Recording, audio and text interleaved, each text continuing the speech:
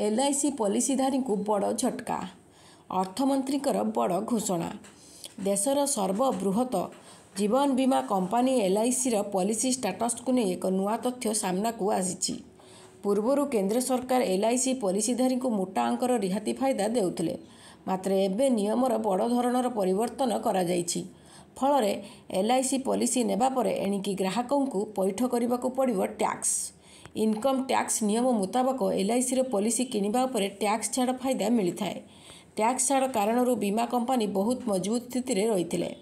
ଅଧିକାଂଶ ଗ୍ରାହକ କେବଳ ଟ୍ୟାକ୍ସ ବଞ୍ଚାଇବା ପାଇଁ ଏଲ୍ଆଇସି ପଲିସି ନେଇଥାନ୍ତି। ଏନେଇ ଏଲ୍ଆଇସି ଅଧ୍ୟକ୍ଷ କହିଛନ୍ତି, କମ୍ପାନୀର ମୋଟ ବାର୍ଷିକ ପ୍ରିମିୟମ୍ର ପାଖାପାଖି ଅଧା ଅଂଶ ଜାନୁଆରୀ, ଫେବ୍ରୁଆରୀ, ମାର୍ଚ୍ଚ ମାସରେ ଆସିଥାଏ।